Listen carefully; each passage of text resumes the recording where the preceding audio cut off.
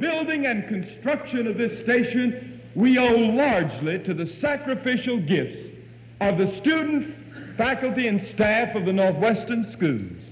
And today we're grateful for these over a thousand students that have come from. That was Reverend Billy Graham's opening blessing on the first broadcast from KTIS. It's amazing to hear that recording knowing he played such a pivotal role at Northwestern. I'm Ashley Chiapetta. And I'm Brennen Scarborough. Welcome to Eagle 7 News. And today we remember the life of Reverend Billy Graham and the amazing legacy that he left behind.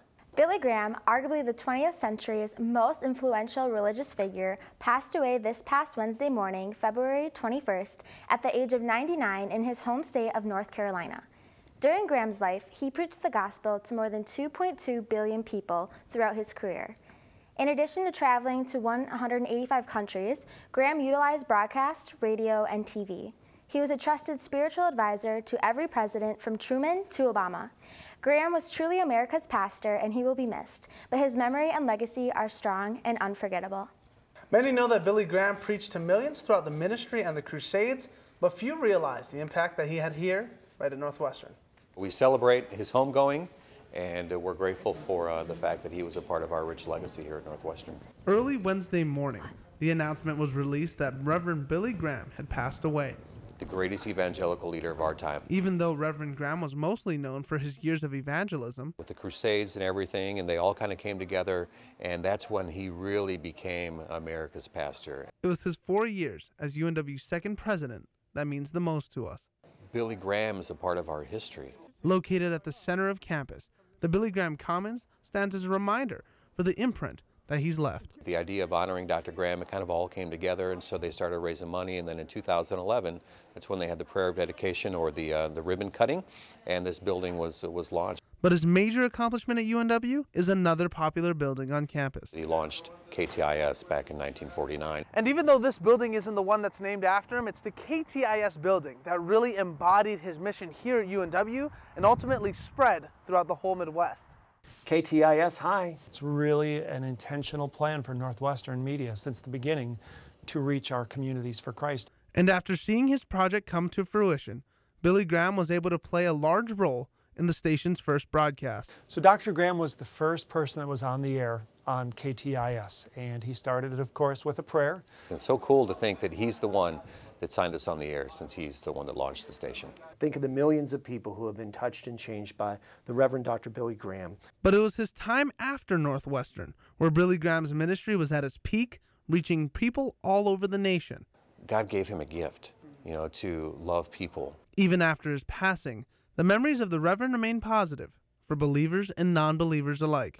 People loved him, even if they weren't in the faith they weren't intimidated by that. And he spoke the truth. For Eagle 7 News, KTIS and Northwestern Media would not be on the air today spreading the gospel of Jesus Christ if it weren't for Dr. Billy Graham and his legacy at Northwestern. I'm Brennen Scarborough.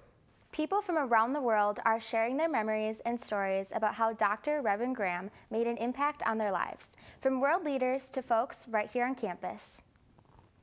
The University of Northwestern is mourning the loss of Reverend Billy Graham.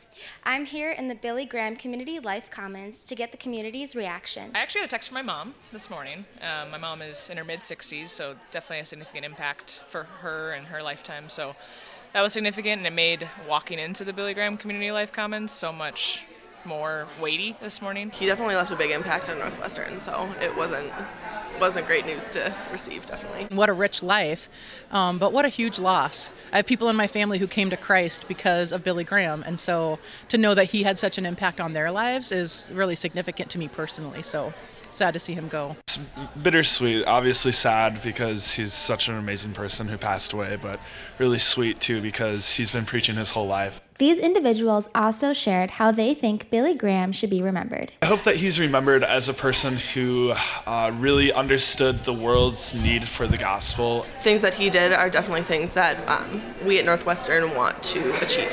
I remember reading a quote of his several years ago about, hey, someday you're going to read that Billy Graham died. Don't believe it because he's more alive than he's ever been here on earth. He created space um, for presidents to come in, for the the darkest of sinners, if you would, um, to come in and, and everyone in between. And so that legacy hopefully will continue to impact our campus as well.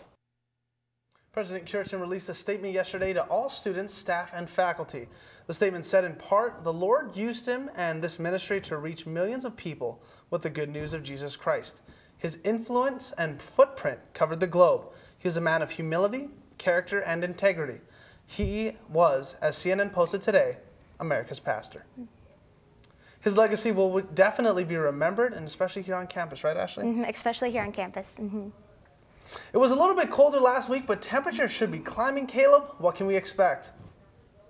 Well, Brennen, I hate to say it, but last year at this time, we were in the high 50s and low 60s be more in the 30s this week with a high of 31 and partly cloudy today. Saturday is going to actually bring some snow with a high of 35, and then also Sunday with a high of 30, Monday with a high of 36, and high of 39 on Tuesday. Partly cloudy, but you never know with Minnesota's unpredictability, maybe those 50s and 60s are coming right around the corner. Back to you guys. Spring sports are gearing, gearing up here at Northwestern, but for one club team, it's hard to find space to practice this winter. The Ultimate Frisbee team has had to get creative. It's been a snowy cold February, leaving the athletic fields unavailable and Erickson occupied with varsity sports. We caught up with the captains of the UNW Club Ultimate team to see how they're finding practice time despite these conditions. Squeezing in practice time when there's still snow on the ground can be difficult.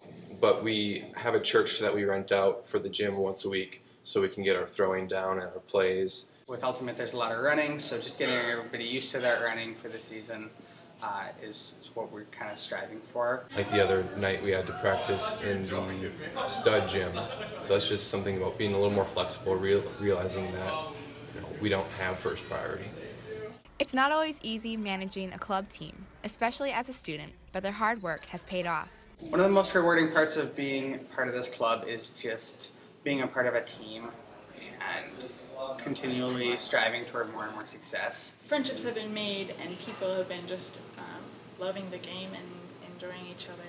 One, two, three, Eagles! For Eagle 7 News, I'm Tori Hain.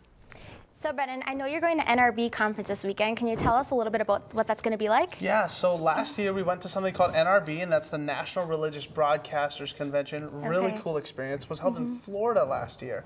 And this year it's actually going to be held in Tennessee. Okay. Really excited to go. I've never been to Tennessee. But yeah, we'll be competing in something called the 24-hour uh, news competition. And there's three categories. There is film, there is radio, and there's television. And um, just really fun experience. I was so glad that I got to go last year okay. and this year. What team are you competing on? So we will be competing with Eagle 7 for the TV News 24-hour competition. So, awesome. Good yeah. luck for that. That'll Thank be great. Yeah, yeah, this is actually something we brought back last year. So hopefully we can bring another one back. Mm -hmm. Um, and that's all we have for Eagle 7 today, but make sure that you guys catch the basketball game tomorrow night. They will be playing for the UMAC Championship um, in Mankato at 7.30 p.m. And the live stream will be on unweagles.com. Make sure to catch it there. I'm Brennen Scarborough. I'm Ashley Chiapetta. And I'm Tori Hain. Stay fly, Eagles.